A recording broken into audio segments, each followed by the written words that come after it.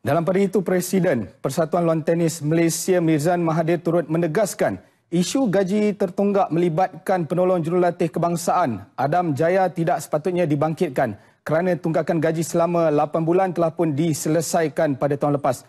Sesuatu yang mengejutkan buat LTAM apabila Adam Jaya mendedahkan isu ini kepada pihak media.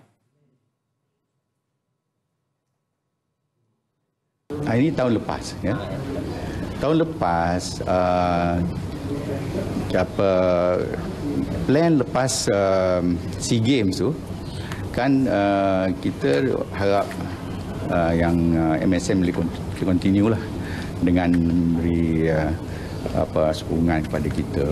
Uh, uh, sebab kita pun ada pembelajaran ada program yang kita mesti ada kan.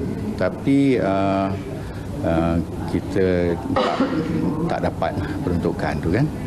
So itu jadi masalah untuk kita. Nah nak nak um, uh, apa uh, nak ada apa national coaching team dan uh, apa uh, team apa squad uh, uh, untuk Malaysia pun jadi susah untuk kita. Sebelum ini Adam Jaya telah pun berkhidmat selama dua tahun sebagai salah seorang daripada barisan jurulatih kebangsaan yang dikatakan kecewa dengan tindakan LTAM yang berminat untuk memanggil jurulatih luar negara sedangkan gaji selama 8 bulan masih tertunggak.